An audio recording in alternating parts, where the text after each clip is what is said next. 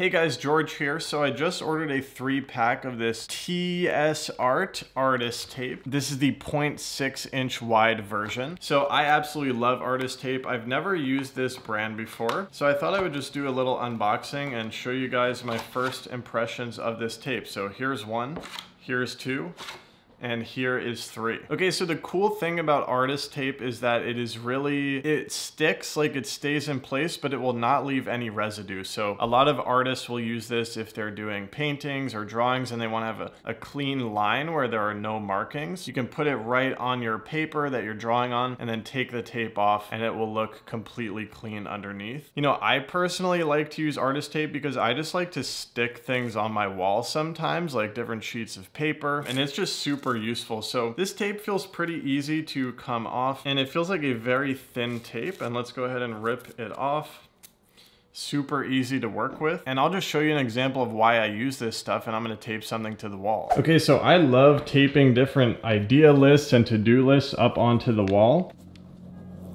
And this kind of artist tape is perfect for that. Now I want to share that this artist tape is particularly translucent. I can see the writing right through that piece of tape. I have had other artist tapes before that were not so translucent. You actually couldn't see through them at all. So this is definitely a very thin tape, but it looks pretty sticky. That's not going anywhere. And I can guarantee you that's gonna come right off.